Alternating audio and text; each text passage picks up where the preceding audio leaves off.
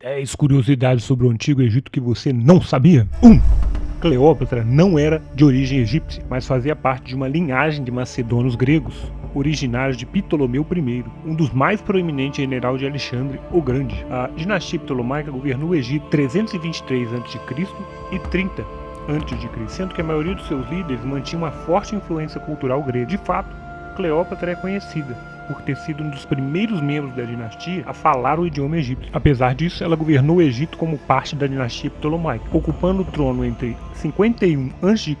e 30 a.C., tornando-se famosa por sua beleza, inteligência e pelo seu papel na história do Egito e da Roma Antiga. 2. As pirâmides não foram construídas por escravos. Apesar da vida de um construtor de pirâmides ter sido certamente árdua, inclusive com os esqueletos de trabalhadores apresentando frequentemente sinais de artrite e outras doenças, ciências sugerem que as enormes tumbas não foram erigidas por escravos, mas sim por trabalhadores remunerados. Esses antigos trabalhadores da construção era uma mistura de artesãos habilidosos e mão de obra temporária, alguns dos quais parecem ter tomado muito orgulho em sua profissão. Grafites encontrados próximos aos monumentos indicam que eles muitas vezes atribuíam nomes divertidos às suas equipes, como os bêbados de Menkaure ou os amigos de Chufu. A ideia de que escravos construíram as pirâmides sob o açoite foi criada pela primeira vez pelo historiador grego Heródoto, no século 5 a.C., mas a maioria dos historiadores agora a considera mito. Embora os antigos egípcios não tivessem repulsa em manter escravos, eles parecem ter utilizado principalmente trabalhadores de campo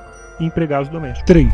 Os egípcios antigos estabeleceram um dos primeiros tratados de paz da história. Por mais de duas centenas de anos, os egípcios e o Império Hitita lutaram pelo controle de terras na atual Síria, gerando enfrentamentos sangrentos como a Batalha de Kadesh, ocorrida em 1274 a.C.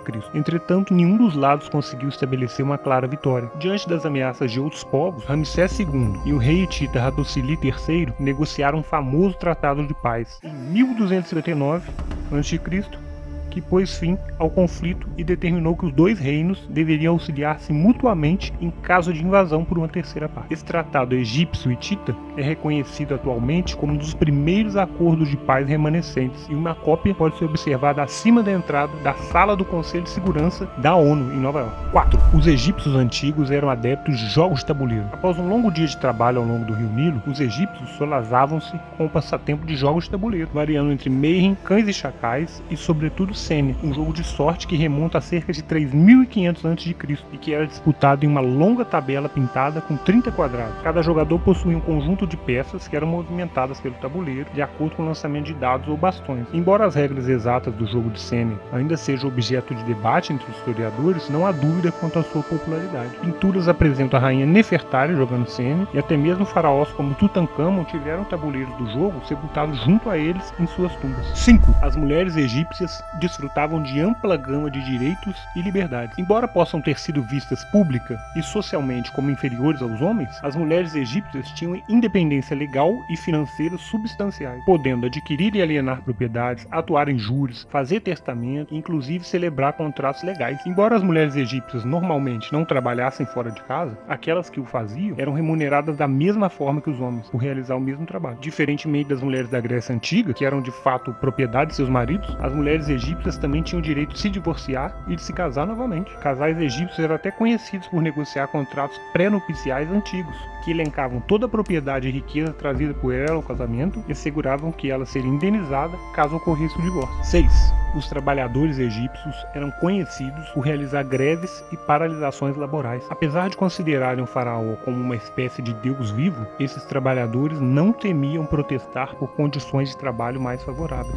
O exemplo mais famoso desses protestos ocorreu no século 12 a.C., durante o reinado do faraó Ramsés III do Novo Reino. Quando os trabalhadores que atuavam na construção da necrópole real em Deir el Medina não receberam o pagamento de grãos que era habitual, eles organizaram uma das primeiras greves registradas na história. O protesto tomou a forma de um. Os trabalhadores simplesmente entraram em templos funerários próximos e se recusaram a sair até que as suas reivindicações fossem atendidas. O risco deu certo e os trabalhadores finalmente receberam suas rações atrasadas. 7. Essa para mim é uma das mais interessantes. Os faraós egípcios se encontravam acima do peso ideal. A arte egípcia geralmente representa os faraós como magros e estatuários mas é provável que essa não fosse a realidade. A dieta egípcia, que era composta por cerveja, vinho, pão e mel, era rica em açúcar, e estudos sugerem que isso pode ter contribuído para a obesidade dos reis. Exames em múmias indicam que muitos dos líderes egípcios eram pouco saudáveis, acima do peso e até mesmo sofriam de diabetes. Um exemplo notável é a lendária rainha Hatshepsut, que viveu no século XV a.C.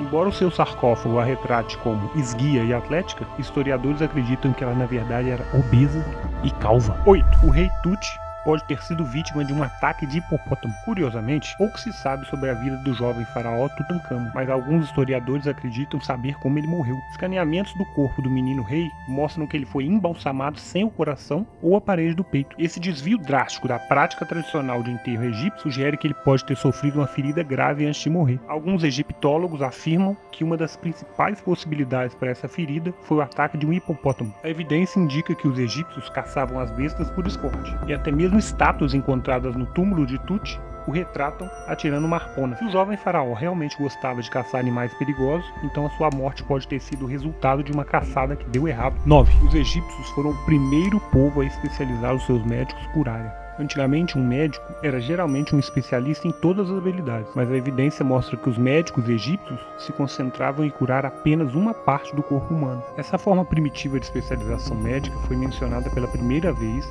em 450 a.C. pelo viajante e historiador Heródoto, de novo ele. Ao discutir a medicina egípcia, ele escreveu, aspas, cada médico é um curandeiro de uma doença e não mais. Alguns dos olhos, alguns dos dentes, alguns do que diz respeito ao estômago, fecha aspas. Esses especialistas até tinham nomes específicos. Os dentistas eram conhecidos como médicos da dentição, enquanto o termo para proctologistas literalmente se traduz como pastor do Anos. 10. Os egípcios mantinham muitos animais como companhia doméstica. Eles viam os animais como encarnações dos deuses e foram uma das primeiras civilizações a ter animais de estimação em casa. Os egípcios tinham um afeto especial por gatos, que eram associados à deusa Bastet, mas também mostravam reverência por falcões, ibis, cães, leões e babuínos. Muitos desses animais tinham um lugar especial na casa egípcia e eram frequentemente mumificados e enterrados com seus donos depois de morrerem. Outras criaturas eram treinadas para desempenhar funções específicas. Por exemplo, os policiais egípcios eram conhecidos por usar cães e até mesmo macacos treinados para auxiliá-los durante as patrulhas. Para você que chegou até aqui, um bônus. Tanto homens quanto mulheres entre os egípcios utilizavam maquiagem. A vaidade é tão antiga quanto a civilização, e os egípcios não eram exceção. Homens e mulheres eram conhecidos por usar grandes quantidades de maquiagem, que acreditavam que lhes dava a proteção dos deuses Horus e Ra. Esses cosméticos eram feitos moendo minérios como malaquita e galena em uma substância chamada col. Era então aplicada generosamente ao redor redor dos olhos, com utensílios feitos de madeira, osso e marfim. As mulheres também tingiam as bochechas com tinta vermelha e usavam rena para colorir as mãos e unhas, e ambos os gêneros utilizavam perfumes feitos de óleo, mirra e canela. Os egípcios acreditavam que a sua maquiagem tinha poderes mágicos de cura, e eles não estavam totalmente errados. A pesquisa mostrou que os cosméticos à base de chumbo, usados ao longo do rio Nilo, na verdade ajudavam a evitar infecções oculares. Eu agradeço muito pelo seu tempo dedicado para assistir esse vídeo e espero que tenha valido a pena. Agora sai da internet e vai ler um livro.